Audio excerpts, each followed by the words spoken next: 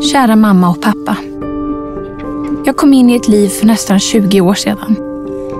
Ni sa att jag var den största gåvan ni någonsin kunnat föreställa er.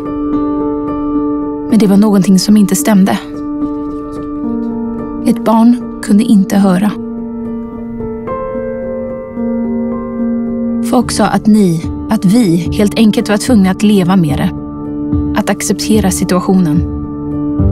Men det gjorde ni inte. Ni ville ett barns bästa och tog det modiga beslutet att låta mig få en revolutionerande behandling. Ett litet mirakel opererades in i båda mina öron. Jag var bara två år gammal, men jag kommer fortfarande ihåg den där dagen då jag för första gången fick uppleva vad ljud var.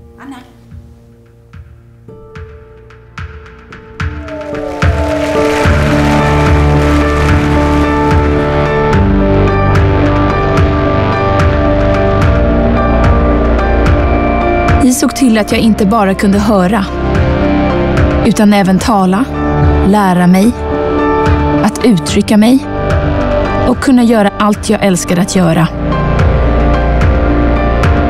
Tack mamma och pappa. Jag hade inte kunnat drömma om en bättre gåva.